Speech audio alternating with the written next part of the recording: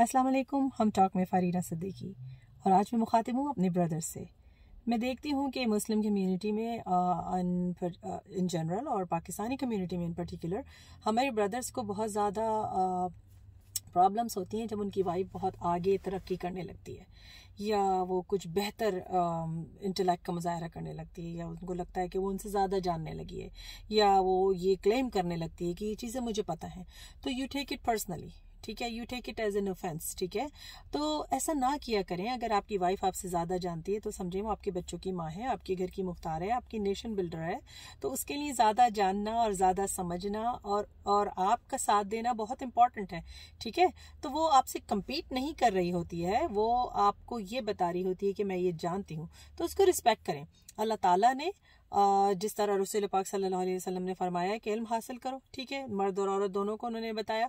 तो इसी तरह अल्लाह ताला ने हर शख्स को इल्म का एक दर्जा दिया और अल्लाह ताला ने हर शख्स के नसीब में इल्म भी एक खास लेवल तक लिखा है। फिर उसके बाद अकल भी अल्लाह ताला ने सबको बिल्कुल बराबर से दी है। किसी को किसी तरह की, किसी को किसी तरह की, हर एक के टैलेंट्स मुख्तलिफ़ हैं, हर एक हर एक के स्किल्स मुख्तलिफ़ हैं।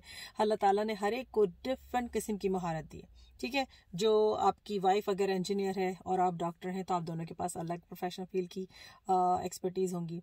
अगर आप लॉयर हैं और आपकी वाइफ फार्मासिस्ट है तो फिर भी वो अलग एक्सपर्टीज होंगी। तो there is no competition so जब कुरान में अल्लाह सुबहाना ताला कह देता है ना कि कि आप अपने स्पाउस का लिबास है और वो आपका लिबास है तो फिर लिबास तो एक दूसरे को आरास्ता करता है, एक दूसरे को प्रोटेक्ट करता है, एक दूसरे को चेरिश करता है, एक दूसरे को कंफर्ट देता है, एक दूसरे को सिक्योर करता है। कॉम्पिटिशन थोड़ी करता है। हम अपने कपड़ों से लड़ते हैं क्या? नहीं ना?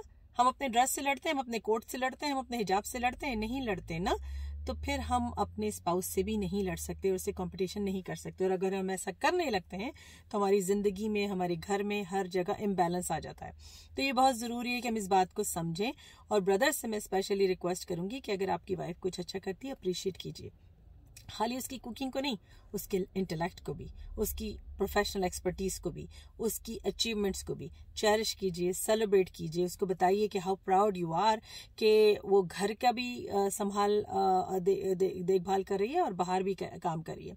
क्योंकि जो वो कमा के ला रही है, वो अपने ऊपर नहीं लगा रही, वो आपके घर पे, आपके बच्चों पे और आपकी एक्सटेंडेड फैमिली पे होपफुली लगा रही है। ठीक है ना? जो कि उसका जिम्मा नहीं है, जो कि उसका फ़र्ज़ नहीं है अल्लाह ताला की तरफ़ से, लेकिन बेशक वो अपनी गुडविल के साथ करिए और अगर सिर्फ़ वो सिर्फ़ अपनी करियर बनाने के लिए भी करिए तो वो भी उसका हक है। एज लॉन्ग एज कि वो घर की जिम्मेदारियों को निगलेक्ट नहीं करी, आपके बच्चों को, आपके हकूक को निगलेक्ट नहीं करी, और वो और कुछ अचीवमेंट्स बाहर जाके करना चाह रही है, जो उसको खुश करता है।